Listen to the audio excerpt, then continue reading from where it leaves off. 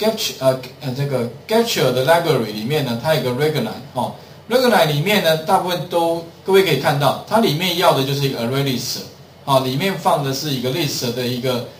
呃物件哈。那这边的话就是 Prediction，那把结果怎么样呢？辨识的结果哦，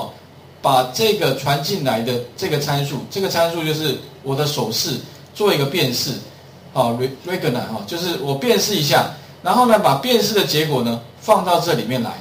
那如果说呢，辨识的结果 size 啊，它得到的这个 size 部分呢，如果大于零，所谓大于零就是说呢，哎，有找到跟它接近的，而且呢，哈，去找到它的分数。那分数部分的话呢，我们去从零阵列所以里面的第一个找到，如果是大于一的话，就是最大的那一个哈，啊，大于一的那一个，然后呢，我们就把底下怎么样呢，串接一个字串，这个部分跟上一个范例很类似啊。当然，你也可以用一个 string 啊，string builder 里面呢，我们就串接什么呢？串接第一个它的名称，所得到的这个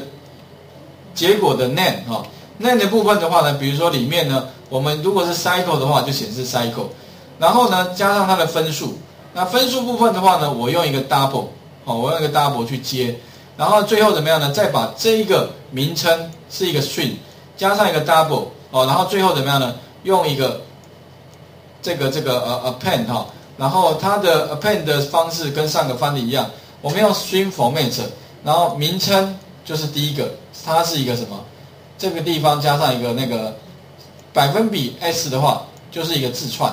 然后加上一个换行符号，然后 scope 冒号，你看这个地方用什么？double 的话，可能它小数点很很长一串，那我只取到小数点的第一位，然后再来把我的 name 就是这个字串。放进来，那放进来，它帮我格式化成什么一个字串，再把这个 score 分数放在这边，帮我格式化成什么小数点第一位，最后怎么样呢？把这个结果秀出来。那各位可以看到的结果就会是像这样子。